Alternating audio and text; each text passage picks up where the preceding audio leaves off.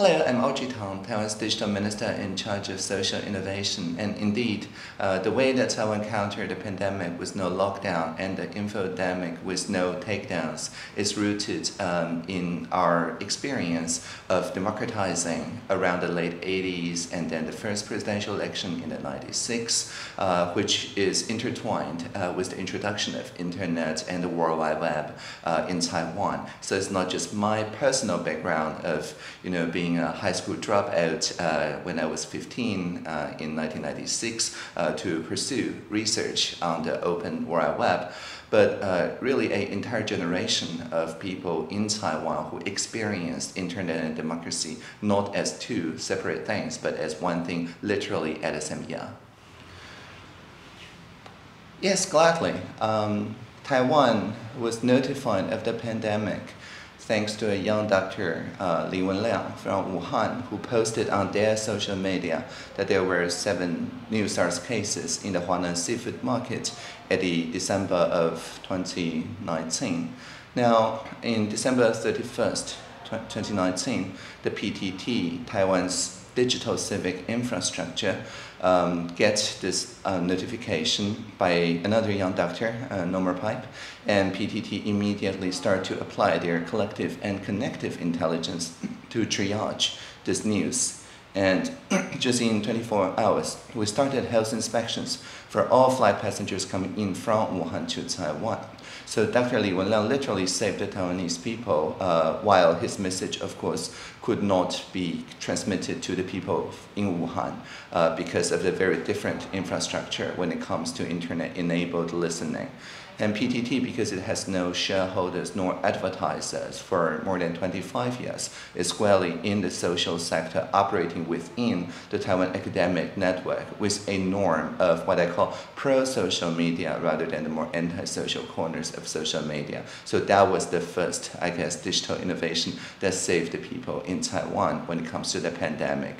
Of course, mask rationing, contact tracing, and so on were co-created with G0V or Zero um, community, around 10,000 people on the same Slack chat channel uh, or Telegram or IRC uh, all the time uh, contributed to the internationally recognized uh, early response. And this may, of course, also on the SMS-based contact tracing system where people can check in the public venues without having to download any app uh, and sending a SMS to a well-trusted uh, number 1922 representing the counter-epidemic uh, command center uh, without uh, having to pay um, SMS charge and no um, worries about the privacy implications as well because it's just stored in the five telecom carriers. Uh, and if there's no contact tracing request from a local contact tracing office, it's just deleted uh, after 28 days. So, so far there's a quarter billion SMS sent this way and around 11 million that's been used to shorten the contact tracing from more than 24 hours per confirmed case to less than 24 minutes.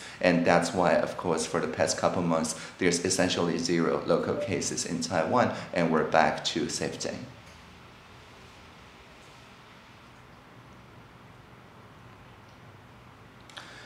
Um, my favorite quote from the Tao Te Ching uh, was, to give no trust is to get no trust.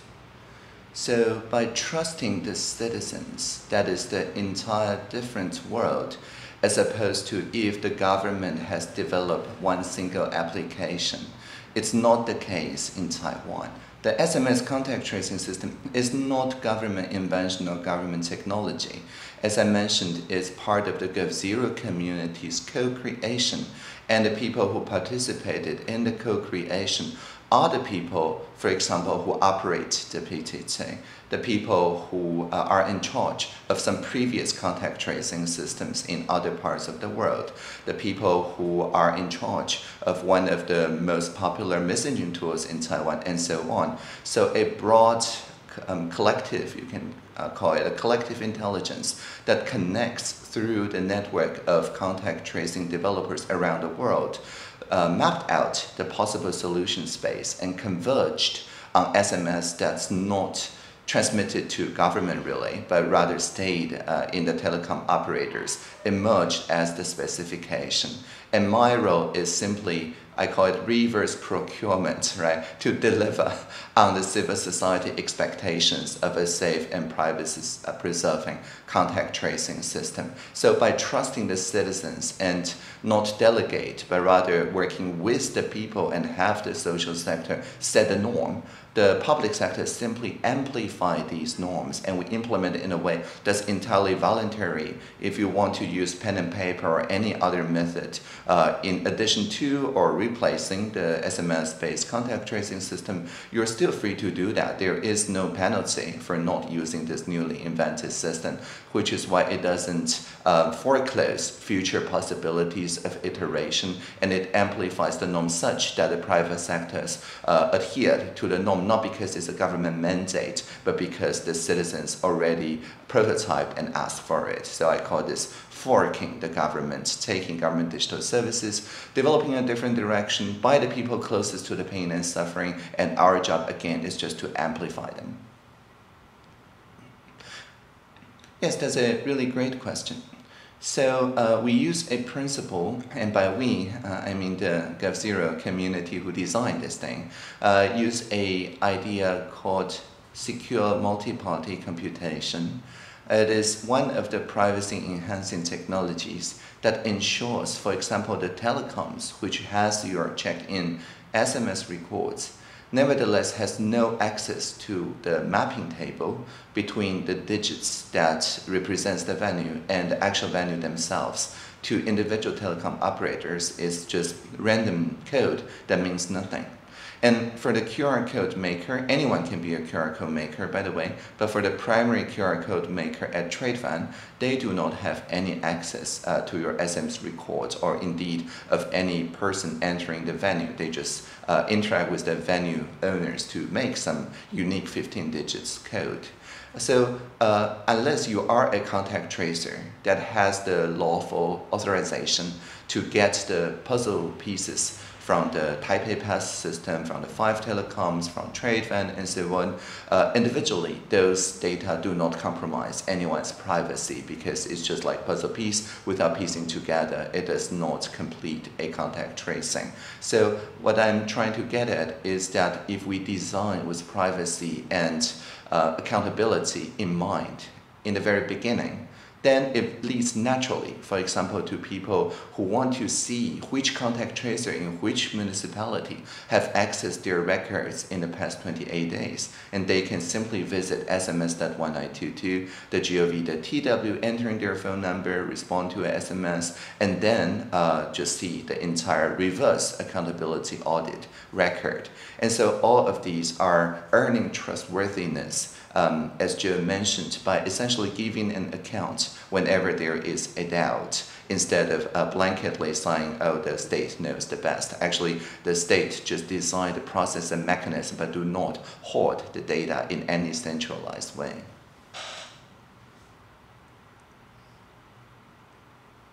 Definitely. Um, distributed ledger technologies form an important uh, inspiration uh, to the Taiwanese civic technologies community. Indeed, many of the developers in, for example, the Ethereum ecosystem and Tezos and many other ecosystems uh, are either primarily or uh, importantly based in Taiwan. So when we introduced, for example, the mask rationing system last February, people immediately thought, yeah, this is something a ledger technology could help. Uh, and with the help again from GovZero uh, last February, all the pharmacies in Taiwan, more than 6,000 of them, published their real-time inventory of medical grade masks uh, every 30 seconds there is a kind of global update to more than 100 different applications. Some are interactive maps, some are chatbots, voice assistants, things like that to ensure that whenever anyone purchases uh, two or three masks at a local pharmacy using their national health uh, insurance IC card, um, more than 100 different developers uh, get this renewed number immediately uh, so that people queuing after them uh, actually can check their phone and see in real time uh, whether this pharmacy is going to run out of masks, whether they should queue elsewhere. They can make that decision even uh, before uh, deciding uh, which pharmacy they want to, to use. So again, this is a kind of coordinated solution, uh, but it's not implemented in a centralized way. Rather, uh, all the different interactive visualizations points out, for example, to the data bias uh, that privileges uh, the uh, urban areas because uh, initially we're distributing based on physical distance, but not everyone own a helicopter, as the OpenStreetMap community pointed out to us uh, rather quickly. Uh, and then uh, they forked the government essentially by interpellating uh, through an MP to our Ministry of Health and Welfare. They said, um, I think we have this better distribution method based on the real-time number that you publish. So demonstration is not a protest here. Demonstration is literally a demo. And Mr. Chen said, yeah, legislator teach us. And the very next day, we started implementing a better distribution mechanism. So this is not a accountability in the traditional sense of the government does everything. Rather, this is truly co-creation where the citizens can also contribute better algorithm to address data bias. Sure. So for the past 10 years or so, um, GovZero has been systematically looking at the digital services in Taiwan, which is usually something that GOV, the TW, and forking those services into something that G0V, the TW. So for example, in our national participation platform, join the GOV.tw. If you change a O to a zero, join the G0V.tw, then you get into the GovZero Slack channel. So basically, uh, what GovZero is doing is showing alternate imaginations of what's possible in government digital services, but always in open source and creative common licenses so that it's a soft fork, as we say in the DLT space. If the state uh, um, wins in popularity uh, and the GovZero uh, alternatives gain in popularity, then the state can at any given time, and we did so for many different occasions, simply say, oh, we can't beat them, so we join them and simply adapt the GovZero designs uh, through reverse procurement in, um, instead of traditional procurement uh, and integrate it into the government services. Ah, sure. Um, indeed, um, when I was a child in the late 80s, uh, Taiwan already had a very strong social sector. Uh, the cooperatives movement, the social entrepreneurs, the local charities, and so on indeed delivered many essential services and campaigned for democratization even before the martial law was lifted. Uh, and I think one uh, large event around the turn of century was the um, September 21st earthquake. And uh, earthquake uh, really caught people of different parts of the social sector, uh, of different faiths, of different practitioners, uh, to essentially work together out of necessity and build social solidarity because the, the disaster is such a massive scale that people simply cannot um, rely on the local and central government to provide the necessary response in time. And afterwards, uh, for pretty much all the large disasters, and I include the Occupy of the Parliament, the Sunflower Movement in that, uh, the social sector that already had a prior experience of trusting each other uh, simply bonded together. So the Occupy movement was really orchestrated uh, in 2014 by more than 20 NGOs, uh, which um, has the corners on the Occupy Parliament on the street, and actually people, half a million people on the street, uh, worked toward uh, getting the messages of the 20 NGOs across each other so that the cross-strait service and trade agreement is debated not from a purely economic perspective, but also from the systemic risk uh, associated to cybersecurity, to labor conditions, to LGBTIQ rights, and many other things, uh, giving a more full-fledged deliberation on the quality of the uh, occupied parliament and its um, constituents of people who participate in the movement. So I uh, do agree that this is continuous.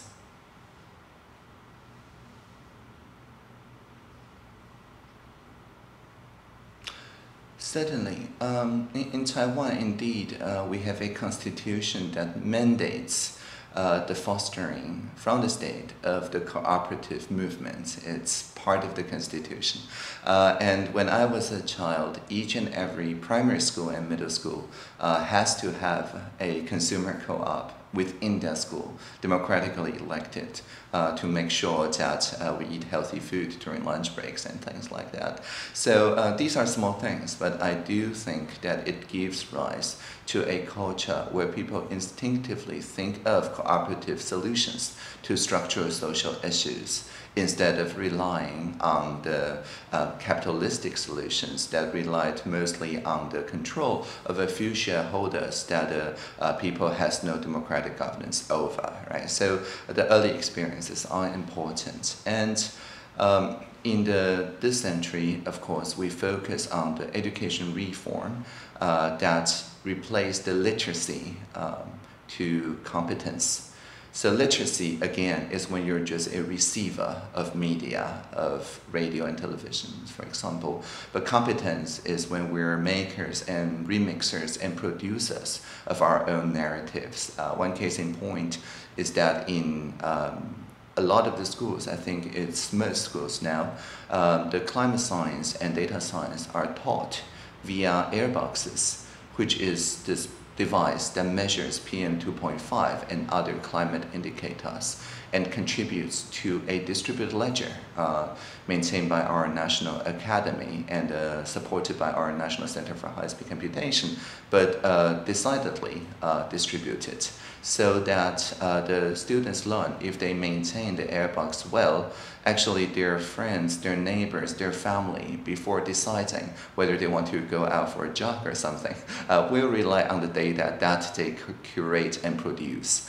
Uh, and if they want more precision around their community, they can very easily get one. It's open hardware and place it on their balcony or things like that. And again, this is beautiful data collaboratives uh, that the students, uh, without being indoctrinated with any top-down ideas about how data should work. They see for their uh, first-hand um, educational classes and capstone projects how to tune, how to work with the other uh, data that's contributed by other data altruists uh, and if there's, as I said, data bias, data stewardship problems, and so on, it's uh, within their rights and within their duty uh, to fix that uh, in their school. And I think it's very powerful when we concentrate on the competence rather than literacy.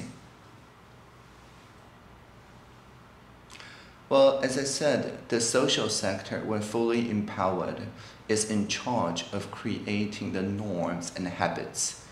And that again, has higher legitimacy because of our history as compared to the rules and regulations produced by the state, by the public sector.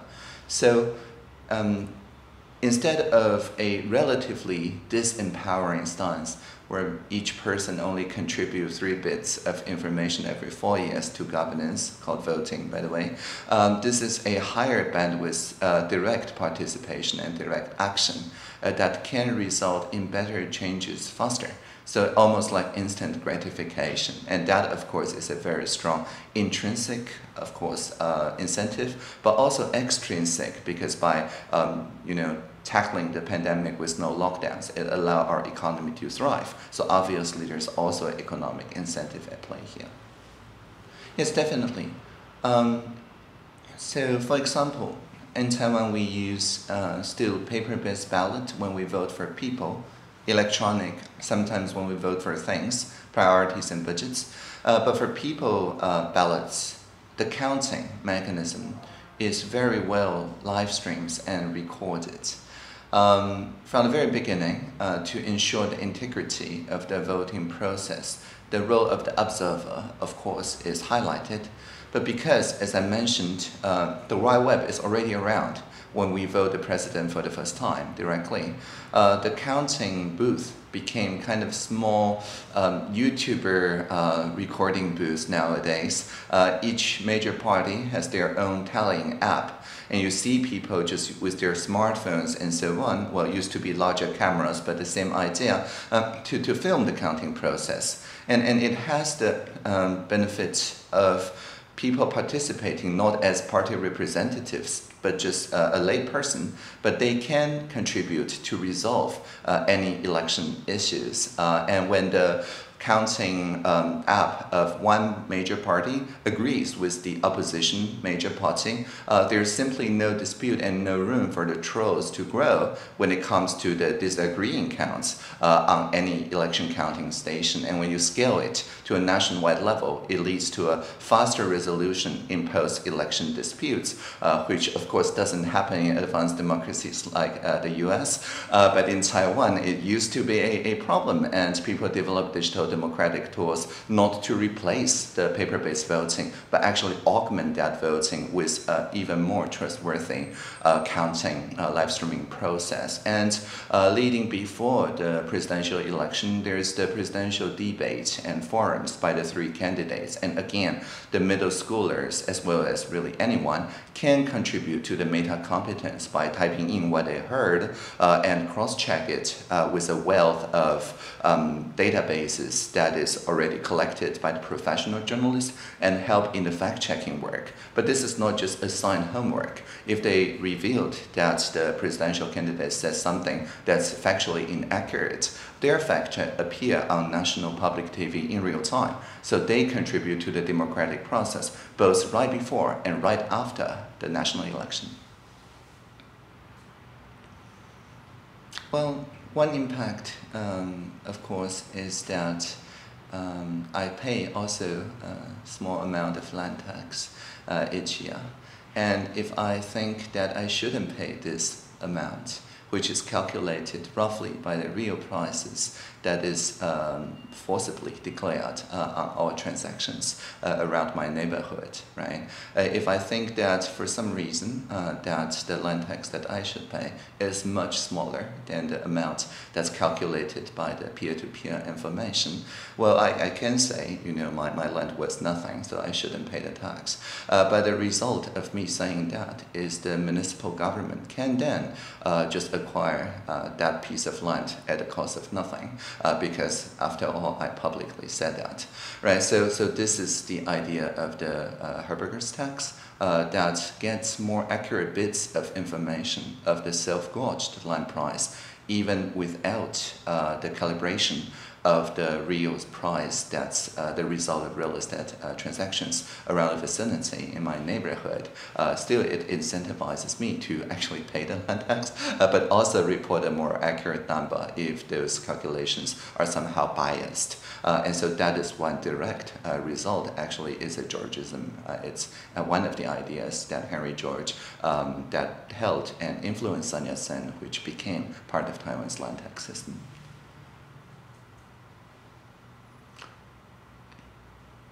Definitely. Um, yeah, to, to continue uh, the, the metaphor of Eastern and Western influences, uh, I think Taiwan as an island uh, is defined, of course, by the clash uh, between the Philippine Sea Plate on the east side and the Eurasian Plate on the west side. And when the two tectonic plates bump to each other, we have really large earthquakes.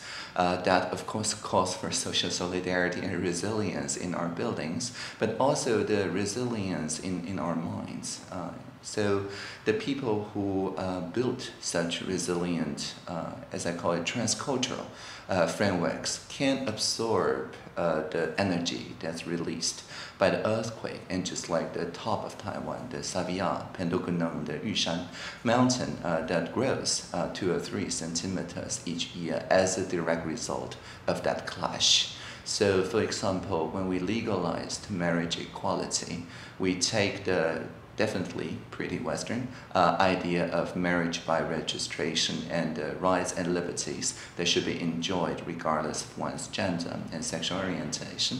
But we also respected and honored uh, the tradition of the kinships uh, that is formed by the familial bonds and so on. So we legalized it using a, a nickname Hyperlink Act that says only the bylaws are wed when two same-sex persons wed but their families, their kinships, their last name and so on do not wed. Uh, and this social innovation is a direct result of a constitutional court uh, ruling as well as two direct democracy referenda that passed. And it defined such a solution space that uh, I call it a good enough consensus or rough consensus where everyone can live with.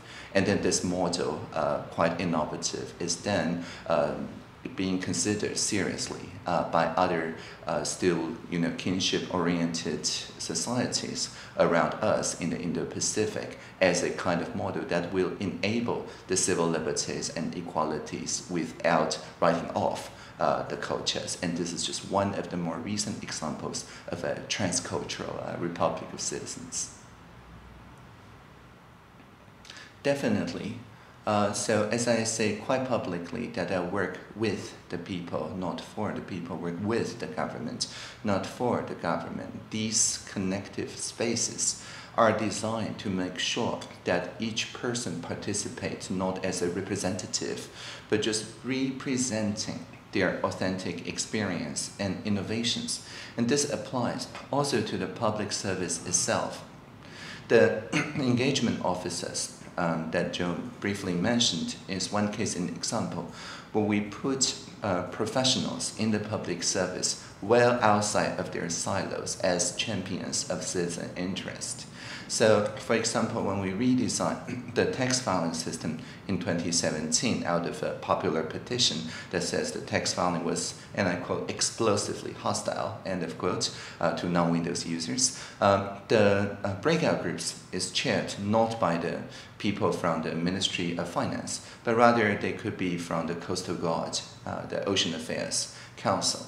But when we talk about the ocean policy, how to enable more support for amateur surfers, amateur fishers, and so on, well, then maybe that breakout groups is facilitated by the Ministry of Finance uh, public service. And the idea is very simple because the uh, coastal guards person also have to file their own tax. Uh, and the tax collector uh, is also, of course, a avid surfer in their spare time. So when they facilitate such deliberative town halls and meetings, they automatically take the side of the citizens because after all, they are citizens themselves, as um, opposed to representatives within their professional silos. And these are just some of the designs of the participatory uh, officer network that deliberately put deliberation at the core of the public servant's work instead of being you know, a top-down mandated way where they have to service the public. So in a sense, it's also an incentive to serve their own uh, self-interest and their community, be it surfer or fisher's interest, uh, while of course offering their uh, professional training as a public servant so that the translation occurs more easily between the professional community, the academic community, and the laypersons. Definitely, um, in Taiwan, we have this annual event called the Presidential Hackathon uh, that also takes place actually right here in the Social Innovation Lab, uh, where more than 200 projects from social innovators across Taiwan. Uh, we use a new voting system called quadratic voting that invites people to reveal uh, the synergy between those projects. Uh, and with this new voting system, uh, we take the top 20 coach them uh, across collaboration of different sectors until it uh, culminates in the five champion teams uh, each year, which receive this trophy from our president, Dr. Tsai Ing-wen.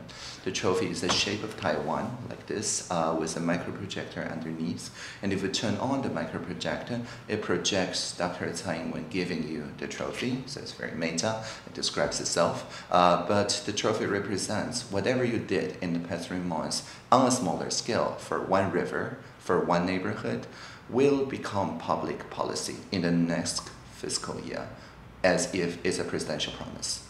So basically, it's a way to offer national agenda setting power with all the personnel, budget, and regulatory changes required and invest that to five teams each year. And we just got a result of the five championship teams actually very recently uh, in the past couple of weeks. Um, and this time, uh, four out of the five uh, are working on climate change and climate action. The other was on long-term healthcare reform. So we now have the cases, for example, uh, where the LASS community, the original community that built those air boxes on the Civic Tech, now shifting their attention to water pollution and measurements through water boxes and many other uh, endeavors. We have another championship team um, evolving the previous championship case uh, where people show a mask map-like system of drinking fountains and refilling people's bottles and calculating the plastic and carbon reduction and apply that idea to cataloging the carbon sinks. Uh, and make sure that people uh, augment their realities by committing to support those carbon sinks uh, from community action and so on. Um, and so on and so forth. The Taiwan Electric Company also offered uh, a way to use the residual heat uh, from their uh, plants uh, to aid in fish farming uh, and reduce carbon uh, because otherwise it will have to um, emit more heat than required. So turning a side product into something that could be circularly used and so on. and so I, I, believe this is not a, a top-down thing, right? The centralized registry will necessarily come from the various way to account for the carbon emissions and other greenhouse gases uh, from the social sector.